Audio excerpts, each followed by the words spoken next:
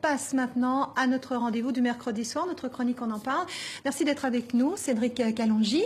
Alors pourquoi Internet fait-il si peur à certains pouvoirs? C'est la question du jour, Simon Rodier.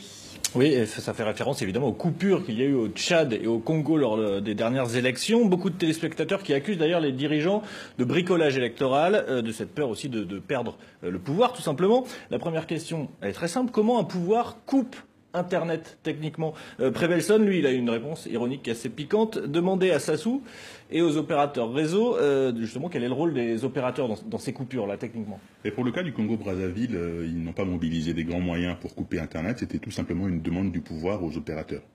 Euh, monsieur, vous coupez Internet. Et ils peuvent couper, parce que l'Internet transite par chez eux, et c'est eux qui fournissent le service. Ils peuvent juste appuyer sur un bouton et puis arrêter le service on est très très loin de la censure à la chinoise où des moyens humains et matériels sont mis en œuvre pour contrôler ce que chaque internaute peut faire euh, sur le réseau. Euh, là, c'est tout simplement la peur justement de, de, de, ce... de perdre un contrat, euh, pression sur, sur l'opérateur. Exactement. Il y, a, il y, a, beaucoup, il y a beaucoup d'éléments qui entrent en compte, mais le, les opérateurs ont peur.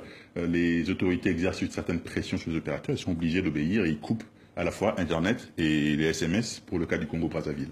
Alors Internet pour lutter euh, contre les manœuvres électorales et c'est pour ça euh, que les pouvoirs Coupent, euh, coupe, Internet lors du scrutin. C'est ce que dit Yacoubou d'Abidjan, Simon. Oui, l'Internet fait peur à certains pouvoirs parce qu'il se présente comme un moyen efficace pour contrer le tripatouillage des élections. En quoi est-ce que ce serait efficace, justement? Mm. Internet permet d'aller chercher l'information qu'on veut là où on veut. Euh, moi, je suis de la génération qui a vécu à l'époque où il y avait une seule chaîne de télévision, c'est la télévision d'État. Euh, propagande à longueur de journée et puis pensée unique euh, à rien d'autre. Hein, à, Kinshasa, exactement. Aujourd'hui, euh, pour les jeunes sur le continent, euh, Internet c'est un bon moyen non seulement d'aller chercher l'information, mais également euh, de, de s'exprimer.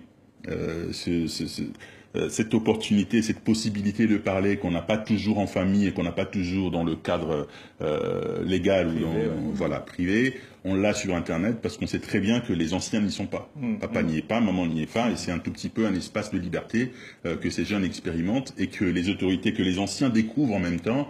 Et aujourd'hui, ils, voient, ils, ils, se rendent compte de la puissance de cet outil, ne maîtrisent pas trop, oui. et c'est beaucoup plus simple en même temps de censurer plutôt que de trouver des solutions et ou d'offrir du contenu de qualité qui intéresserait les jeunes, parce que les, la propagande des télévisions d'État n'intéresse personne. Alors c'est peut-être pour ça justement, hein, Simon, qu'il y en a qui disent qu'Internet, c'est un média récent et donc incontrôlable. Oui, et puis on revient d'ailleurs sur cette télévision d'État avec Mayadine et Rosnay au Tchad et au, Tongo, euh, au Congo, pardon, justement. Euh, L'État et les médias traditionnels ont perdu le monopole de la communication, et puis Rosnay qui nous dit les chaînes nationales accaparées pour diffuser les idéologies révolues ne sont plus suivies par les jeunes. En gros, c'est cette nouveauté qui fait peur aux pouvoir et ce pouvoir qui ne maîtrise plus en fait la, communication comme avant. Il y a des réels, besoins en termes d'information. On, a vu tout à l'heure euh, en Centrafrique euh, que l'information peut sauver des vies, euh, mais l'information n'existe pas. Comment expliquer par exemple qu'au Mali il y a un attentat et la télévision publique met 4 heures, voire plus, pour en parler? Et la seule chaîne qui en parlait c'était une chaîne française. Donc l'information venait en France et retournait au Mali. Euh, les chaînes publiques ne jouent pas leur rôle.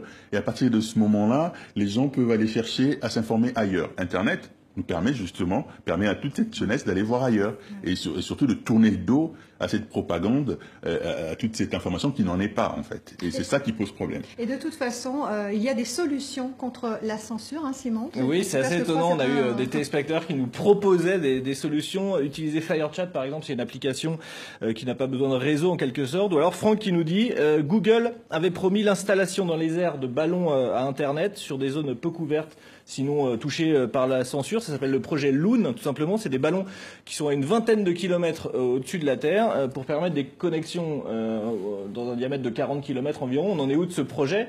Et puis, est-ce que c'est vrai qu'il y a eu des, solutions pour lutter contre cette censure? Je pense que la première solution, c'est déjà de faire attention à ce qu'on met sur Internet. Euh, je trouve ça très mignon, mais en même temps, c'est très risqué de voir euh, pas mal de jeunes gens sur le continent qui découvrent Internet et les réseaux sociaux et qui sont prêts à diffuser tout ils, publient leurs photos, euh, les photos de leurs enfants, de leur famille. Mmh. Le jour où on veut s'attaquer à, à, eux personnellement, c'est facile facilement. de les retrouver. Mmh. C'est la première étape. Faites attention à ce que vous publiez sur Internet parce que en premier lieu, vous ne savez pas euh, qu'est-ce qui va qu'est-ce qui va en être fait et ensuite euh, brouiller les pistes. Euh, vos enfants n'ont peut-être pas besoin d'être euh, sur mmh. internet.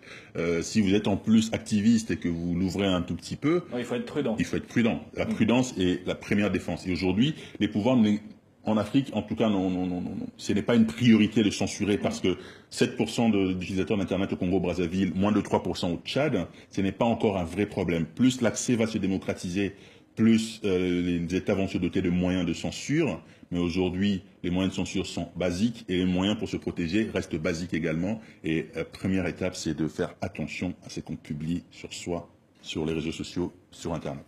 Surtout que Internet va normalement se, développer dans, dans, les prochaines années.